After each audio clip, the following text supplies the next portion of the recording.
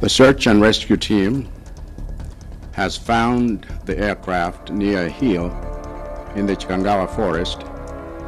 and they have found it completely destroyed with no survivors, as all passengers on board were killed in impact.